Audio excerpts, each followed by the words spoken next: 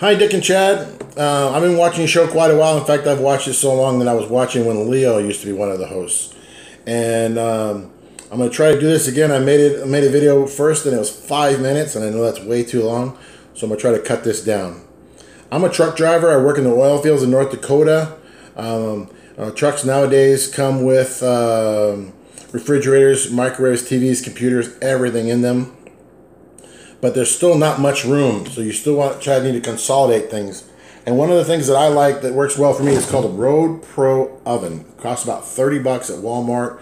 You can buy them at truck stops. You can buy them on Amazon. They're all about the same price. And this is what it looks like.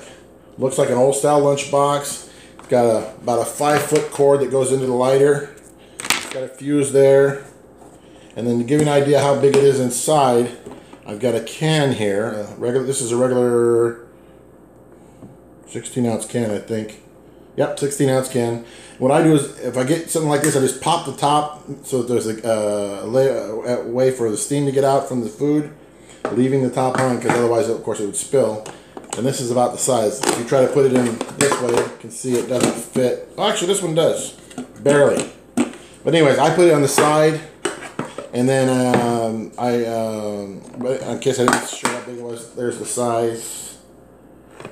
Anyway, um, they also make a little what looks like a bread pan made of aluminum. You put you put food into it, put it, make it in here frozen, stick it in here, close this lid, plug it in, and in, in 20, 30 minutes, maybe a little bit longer, it's it's done if it's frozen. Um, I also take aluminum foil, put fish, vegetables, seasoning and butter, wrap it up, put in here. Again, put a little bit of water in the bottom. The reason I use the water, it helps it uh, uh, helps the um, food cook more evenly.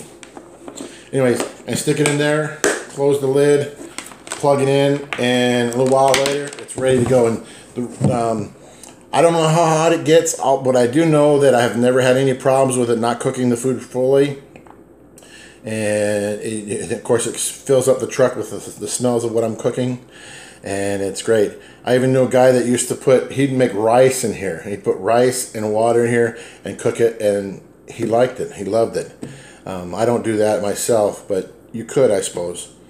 Um, anybody that's that's that needs someplace that, that maybe it's a traveling salesperson, uh, maybe a district manager for stores. We have to go from store to store to store, and you don't want to have to eat out a, a fast food all the time. This is a way to make sure that you're getting good homemade food basically in your vehicle. Thanks a lot uh, and for watching my video, and I love you guys' show. Have a great day.